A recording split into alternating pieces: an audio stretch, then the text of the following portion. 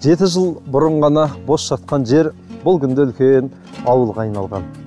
Алатаудың етегінде алматы облысы қарасай ауданына қарасты қырғауылды ауылы міне осы. Шәмші анамыздың шаңырағы да осы керемет үйлердің ортасында. 12 ұл қызды өрбітіп бүгінде аяулы ақжаулықты анаға айналған шәмші анамыздың шаңырағымен берекелі шаңырақта танысатын боласыздар. Ассалаумағалейкум құрметті ағайын. Бәрекелді. Міне қырғауылдының қырқасына шыққан себебіміз де осы еді. Шәмші анамыздың ұлы ауған соғысының ардагері қайырымдылық қорын қалыптастырушы қайырымды қайрат ағамыз да мінекей күткен жерімізден алдымыздан шыға келді. Ассалаумағалейкум. Ассалаумағалейкум. Аға қал жағдайыңыз қалай? өздерің қалайсыздар. Шүкір аллаға аман сен. Аман таза ауалатып жүрсіз? Өте жақсы ғой. Маған өзіме ұнайды осылай тауда серуендеп жүру. Таза ауа жұтып деген сияқты. Денсаулыққа жақсы. Осыны жастар көбісі ә, түсіне бермейді таза ауада жүруді қыдыруды тау серуендеу деген сияқты. Мына ауыл бір алатаудың етегінде бір керемет жерде орналасқан екен. Не үшін қырғауылды деп аталған бұл ауыл? Енді мына ауылымыздың тарихын мен ә, толық біле білмеймін. Неге қырғауылды деп қойғанын. Ә, елдің айтуы бойынша бұл жерде қырғауылды құсы өте көп мекендеген екен. Мүмкін соның атынан қойған шығар деп ойлаймын. Осы жерге біз енді осыдан жеті жыл бұрын қоныс аудардық. Жеті жыл бұрын мына жердің бәрі бос жатқан дала еді. Міне халқымыз жағдайы жақсы альхамдулилля осындай үлкен үлкен үй салып әрқайсысы жақсы таза ауаға көшіп қаладан деген сияқты кішкене ә, тұрмыс халықтың өзгеріп жатыр ғой бұрынғыға қарағанда құдайға шүкір міне кісілер қандай жақсы үйлер әдемі әдемі үлкен үйлер салып жатыр. Ә, көршілер де жақсы біздің өте. Ә, бұрындағындай ә, тар заман емес қазір. Адамның мүмкіншілігі бар жұмыс істеп өзіне үй салам десе үй жер алып сатып алып осы халықтың барлығы өзі күшімен осы жерді өздері ә, сатып алып жерді өздері күшімен салып жатыр осылай. Шәмші анамыздың денсаулығы қалай? Енді анамыздың денсаулығы жасы 85-те ә, денсаулығы жаман емес. Енді өздеріңіз келіп қалған екенсіздер біздің ауылға үйге жүріп сәлем беріп қолынан батасын алып ә, бір дәм ауыз істетіп кетіңіздер үйге жол, үйге келіп. осы асыларына ә, әрқашанда көріп отырады анамыз. Анамыз намаз оқиды көп жылдар. Сол анамыздың қолын алып ақ батасын алып үйге жүріңіздер қонақ болыңыздар. Алла разы болсын. Қырғауылдыға көшіп келгелі қыруар тірліктің басын қайырған қайрат аға көшесінің тазалығымен көршілердің бірлігімен мақтанды. Қоғамдық қор құрып қайырымды істермен айналысып орталық көшеге бағдаршам орнатқызып ел шаруасын шешуді өзіне міндет еткен азамат екен. Ұлты мен жұрты жайлы айтқанда да әңгімесінің берер тәлім тәрбиесі көп. Ұл қыздарым алла нұсқаған іс амалға алла жаратқан табиғатқа жақын болса екен дейді. Ауласына кіре салып қайрат ағаның сол сөзінің дәлелін де көрдік. Қояндарыңыз бар екен мына жақта? Иә. Онда міне. Кішкене қоян асыраймыз қоян асырағанды жақсы көреміз өзіміз. Мына балаларға бір жағынан тәрбие болсын деп. Олар енді бізге мұқтаж ғой. Адам балалар келіп тамақтандырады осыны ә, қарайды бір мезгіл таза ауаға шығып дегендей қылып. Қызық қылып бұл ет үшін емес тері үшін емес асырап жатқан осы ә, балаларға жаңағы тәрбие болып кішкене ә, анда санда бірге осы жерде бал қояндармен ойнайды балалар шығып адам деген табиғатқа жақын болу керек алланың жаратылысына. Қазір жастар көбісі телевизор сотовый телефонға қарап алаңдайды. Содан кішкене алаңдатып далаға шығарып таза ауа мына огород суару қоянмен кішкене ойнап бұған тамақ беріп бұл уақытысымен тамақ беру керек. Олар мұқтаж мына тордың ішінде қамалып тұрғаннан кейін оларды да аш қалдыруға болмайды. Оған жауапкершілік алғаннан кейін бұны дұрыстап қарау керек. Басқа мал асырамайсыз ғой тек осы тауық бар осы бар. Мен көп зат асырағанмын үйде үйде ана жерде балық та бар далада. Бір кезде көп зат асырадым мына жерде. Жыл сайын бірдеңелер асырап қызық қыламын балаларға. Сүйкімді екен иә гренчатый деген порода мынау одан осыдан артық өспейді өзі.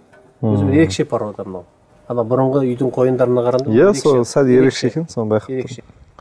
Таза ауаға құмарсыз қоян асыруға құмарсыз бұл адамға әсері бар ма өзі? Әрине.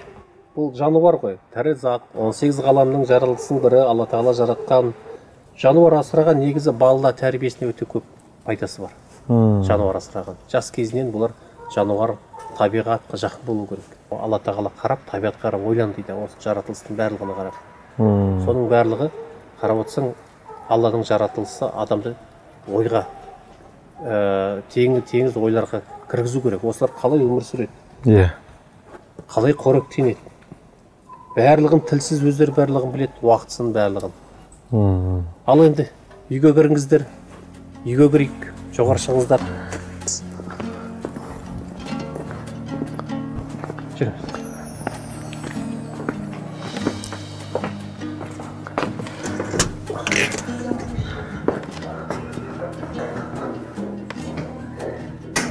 болат деген ағам болатын менің а, міне амансың? анамыз. Қалайсыз біздің. Шүкір аллаға міне анамыз 85 жаста өзі 12 бала туып асыраған. 12-мізді аман есенбіз міне біздің үлкен ақжаулықты анамыз. Шаңырағының шамшырағына ұл қыздарының көз қуанышына айналған шәмші анамыз шәй үстінде әңгіме дүкен құруға шақырды. Шәмші апа алла нәсіп етіп шаңырағыңызға келдік қайратұлыңызды жолықтырып анаңыздың қолын алайық деп сұранып келдік шынын айтқанда. Енді осындай ақ жаулықты аналарымызды құрметтесек ә, біздің өзіміздің де жолымыздың ашылғаны ғой енді. Апа сіздің өміріңіз жайлы кішкене дерек алайықшы өзіңіз жайлы ауылыңыз жайлы айтыңызшы. Ауылдық жерде тұрамын біз біздің үлкен әкеміз азна деген кісі арабтан келген. Ол кісінің баласы қосай қожа болған. ол кісі емші болған кісі. енді ол кісі бертінде отыз жетінші жылы халық жау деп ұстап әкетті. соған халық жау деп содан кейін ол кісінің хабары болмай қойды. сол беті кетті. содан бері біз ауылдық жерде өсіп жатырмын өзім ауылдық жерде соғыста көп қиянат көрдік. таңнан тұрып бригадалар есік қағады ғой. сонда біз ұйқыны көзімізді ашып апарып бізді егінге салады масақ тереміз тізерлеп отыр масақты үгіп бидай шығарамыз оны қалтамызға салдырмайды ғой бригада қалтамызды тінтіп сыпырып алып кетеді бір бүттей бидай да бермейді біз сондай қиыншылықты көп көрдік ашаршылықта көп көрдік жалаңаштап жүрдік аяғымызда аяқ киім жоқ бақайларымыз үсіп кеткен заман болды енді оның бәріне не төздік е, үш бала өстік бір үйде енді басқасы басқа жақта болды біз үйде үш бала өстік інім болды сіңілім болды мен болдым ағайымыз соғысқа кетіп қалды ол кісі қырық қырық бесінші жылы келді содан кейін біз ер жеттік міне семья құрдық міне он екі балалық болдық балаларым бәрі ер жетті бәрі бет семья құрып кет апа енді көп жасағаннан емес көпті көргеннен сұра дейді ғой. Сіз алла көп көрмесін 85 жас жасадыңыз көпті көрдіңіз. Ә, қиыншылықты да соғысты да және біз көріп жатқан бейбітшілікті де қатар көрдіңіз ғой енді. Осыны ойлана отырып қорыта отырып бір жастарға айтар өсиетіңіз бар ма? Біздің ол уақыттағы заман мен бұл уақыттың заманы қазір бірдей емес қой. Қазір бізде бәрі бар. Бәрі тоқшылықпыз жақсымыз қазір. Кейбір онда тоқшылығында тойғанда көтере алмайтын жан бар. Біз ондайға әлі бе- берілмейміз. Неге бізге қанағат отбасымыздың амандығы бала шағаны тілейміз да бізге байлықтың байлықтың аса байлық не керек дегендей аса байлық не керек бәрі өзімізді өзімізше ептеп сол жүре жатырмыз енді біз ана бидай қожадан басқа ештеңе көрген жоқпыз қазір міне бәрі бар жұмыс істесең еңбек табысаң бәрі болады бәрі жағдайлы тек отбасының жанында бір біріне ақылшыл болып бір біріне сырласып бір біріне ұйымшыл бір болса бәрі болады берекенің бәрі отбасының ұйымшылдықтан бір бірінің ақылынан ақылын бір қорытудан солай ғой негізі аллаға шүкір 12 құрсақ көтеріп ұл қыз тәрбиелеп өсірдіңіз енді сіздердің замандарыңыз оңай болған жоқ қой. Бірақ енді қазіргі қыздарыңыздың тұрмысқа шыққан жеріне ұлдарыңыздың алған келіндеріне жалпы разысыз ба қазір төрт қызым бар. Төртеуі де тұрмыста семьясы бар бала шағасы бар бәрі. Ұлдан сегіз сегіз ұлым бар сегізі сегіз шаңырақ көтеріп бәрі жақсы. Бәрі өз өздерімен тіршілігін жасап отбасыларын жақсылап ұстап мен қазір осылардың амандығына ма еш нәрсе армандамаймын. Маған түк арман жоқ. Мен енді ораза ұстадым. Осы тоқсан бірінші жылдан бері мен ораза ұстадым. Намазға жығыламын соны мен әлі жығыламын отырып оқымаймын осы отырып оқып отырамын. Намаз оқыдым ораза ұстадым. Намазым біткеннен кейін балаларыма бәріне тілек айтамын. Осы заманымыз отанымыздың бәрінің тілегін айтамын. Аман болайық. Өстіп отанымыз тыныш болып аспанымыз ашық болып бала шағамыз қиындық көрмей жүре берсін деп бата жазып отырамын кеше соғыс заманында тылда еткен ә, еңбегіңіздің ә, жаңағы он екі ұл қыз өсіргеніңіздің әр балаңызды тәрбиелі өсіргеніңіздің бәрін жемісін алла тағала бүгін нәсіп етіп жатқан шығар. Енді апа алла разы болсын. Әлі де ұзақ жасаңыз жүз жасыңызға құтты болсын айтып келіп отырайық құдай қаласа. Қайрат аға бір нәрсенің болуына мың түрлі себеп дейді ғой. Үм, анамыздың ә, атамыздың соғыс уақытында тылда еңбек еткені өзіңіздің ауған соғысына қатысқаныңыз соның бәрі осы күнге жетуге бір сынақ болған шығар. Жаңа әжеміз бір сөзінде айтты ғой он екі ұл қызды өсірдім өндірдім бақтым қақтым деп аллаға шүкір.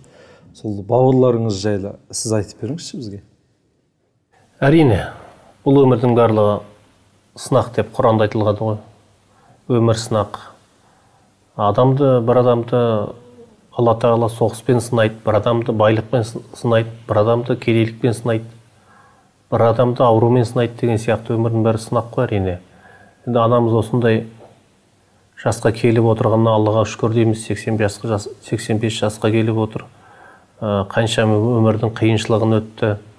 Сол қиындықтарға қарамастан ә, сабырлық сақтады бұл кісілер ә, ескі ескінің адамдары деп айтамыз. Мен үйде оныншы ұлмын ең үлкен үйдегі ағамыз амангелді ол сол энергетика саласының еңбегі сіңген қызметкері.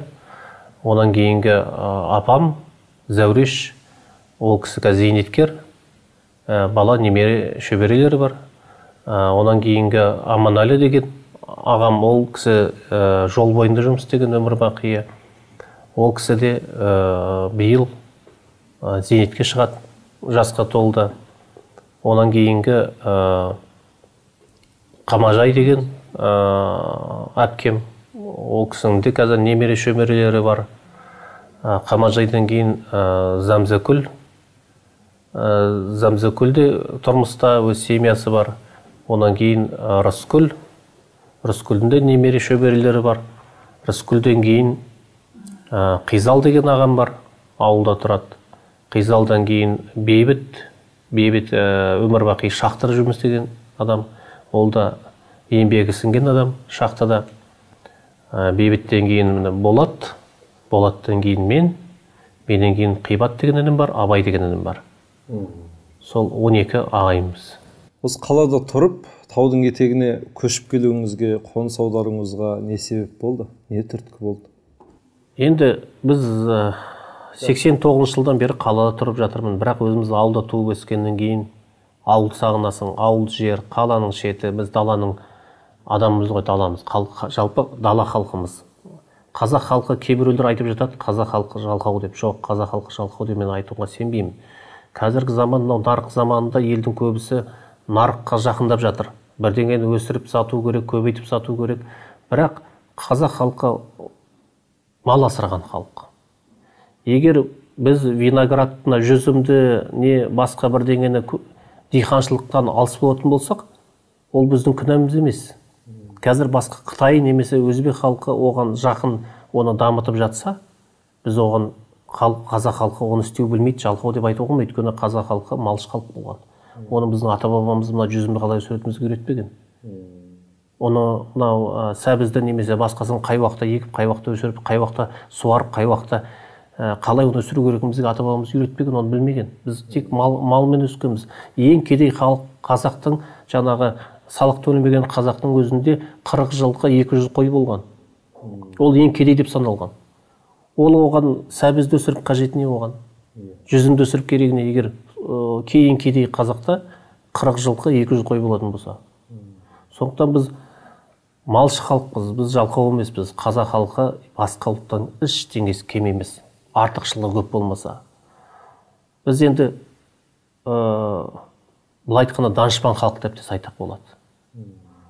Ә, жерге жақын бізде де малға жақын ауылдың адамы болғаннан кейін осы ауылды жерге көшіп келдік. Ауылды жерде жақын тыныш. Мынау ауасы да таза таулы жер жақын тауға шығып серуендеп таза ауа жұту қандай адамға ә, пайдалы денсаулыққа серуендеу кеңес заманында ауғанстан жерінде соғысқа қатыстық. Соғыстан келген кезде бір есімде бар.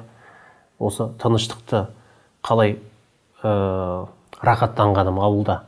Ауылда әскерден келіп екі үш күн енді үйде тойлап абыр дабыр достарыңмен туысқандарыңмен көріскеннен кейін бәрі тарағаннан кейін енді бір аптадан кейін дейікші. Сондай бір шамадан кейін ауылда өзім бір тыныш жерге барып тығылып отырамын.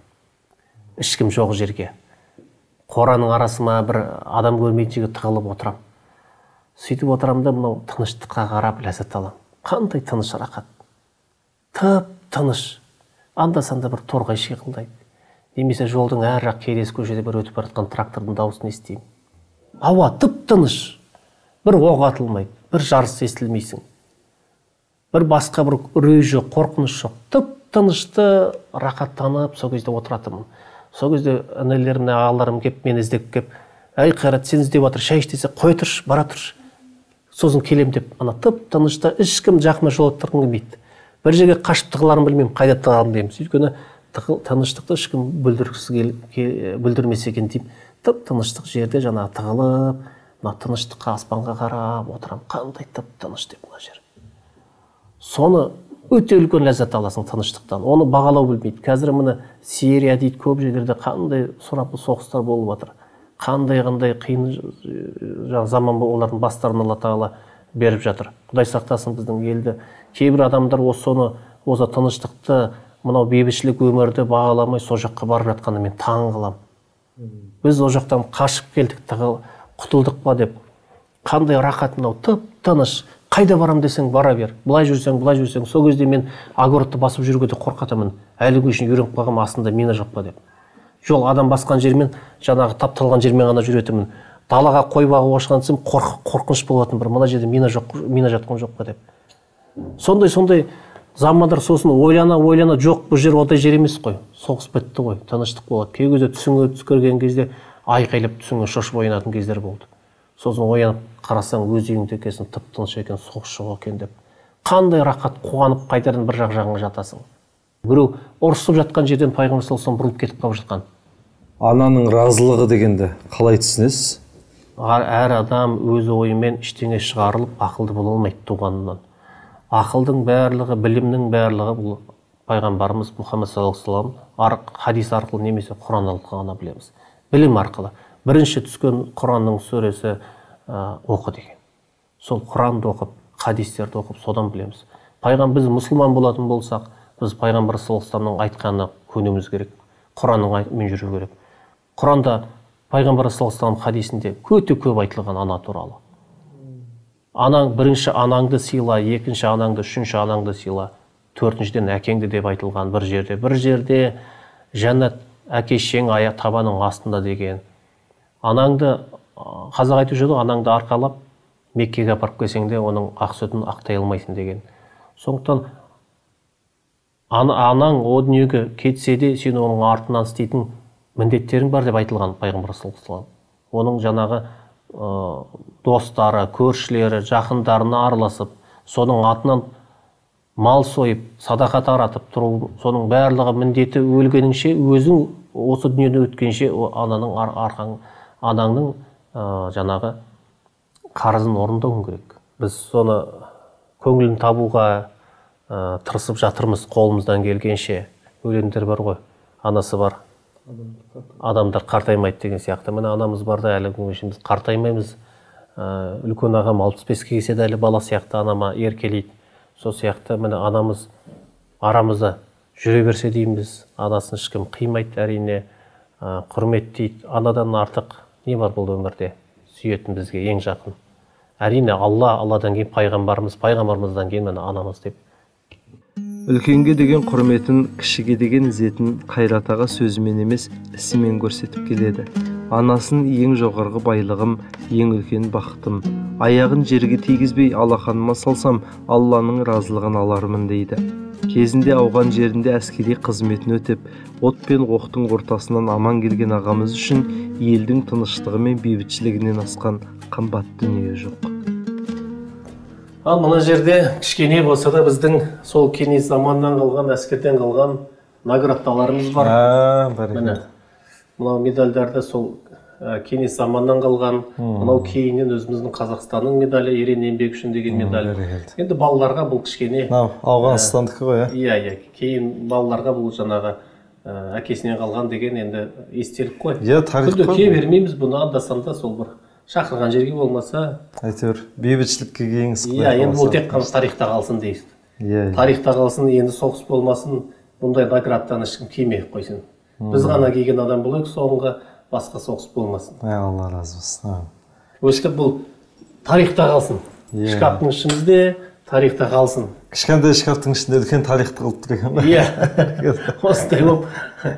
Тарихта жабылып қалсын келешекте мұндай награда киген жастар болмасын арамызда. Жас ұрпақ тек қана бейбітшілік ә, грамота медальдарын алсын өзіміздің қазақстан бүгінгі бала ертеңгі болашақ. Болашақты түзеу үшін балашақты реттеу керек. Сондықтан да қайрат ағамыз күшім жеткенше жақсылығымның көбін ұл қызыма берсем дейді.